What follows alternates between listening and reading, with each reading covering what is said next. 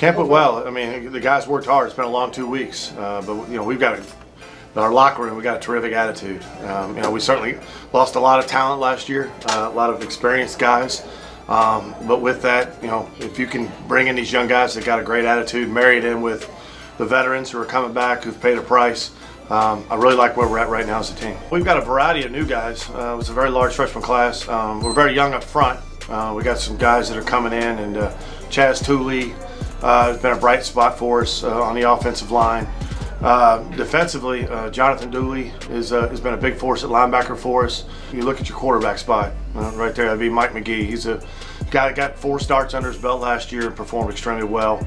Um, he's, he's now considered an old vet. So um, Mike's done a great job leading the offense. Mike Malone is a senior linebacker who's kind of anchoring our defense in the middle. Those two guys right now are the two guys that we're really looking to for leadership and uh, and uh, just keeping that locker room together. By the time we get in the locker room, there's people are playing music, and uh, we're just ready to be ready to go out there. We're happy to play ball and uh, compete against each other.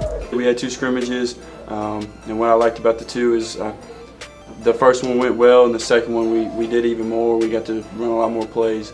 Um, in more situations, which really will help our team down a lot. Yeah, I think they're eager to get on the field to face another opponent. You know, you get tired of beating up on each other, you know, especially as, as a player myself, you just get tired of going against the same guys every day. So it'll be exciting for those guys to go against some, some new opponents. So go out there and, and, and attack the defense, you know, try to attack them downfield, pound the football. Uh, that's what we're going to be. That's our identity. Our football program, since it's been founded here, has really been an independent, away from the other sports. It's really nice to finally have a home with the other sports teams here at the college. So you feel more part of the family here.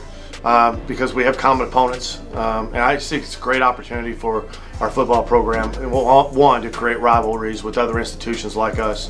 And uh, obviously, you know, conference championship would mean the world to us. Uh, we're very excited. Like Coach Hoskala said, we've been independent for the last couple of years here. Um, so we're very excited to go compete and actually win a GMAC championship this year. Uh, we were very fortunate to bring our two coordinators back. Those guys do a great job. Of Coach L.D. Stallings running our offense and Coach Tarian Smith running our defense. And, uh, and those guys are our stalemates. Uh, and we've added some younger younger coaches, uh, you know, bringing a lot of energy. Uh, Coach Casey Smith, Coach Alex Shepard, Coach Joe Stockton. Um, Charles Decker's back, uh, working with our running backs. He's a he's a returning too. So we've got and there's other guys. I mean, we've got got we got uh, a lot of good faces, a lot of good energy on that field from our coaches, and uh, it's got to start with us. And uh, hopefully it's contagious. And it, thus far it has been with our leadership, and it's trickling in that locker room. We got a really close group this year. This year, like the locker room is really like a brotherhood. We keep preaching brotherhood, and I feel like guys can go to anybody after practice, before practice, and just like talk to them if you need trouble or anything.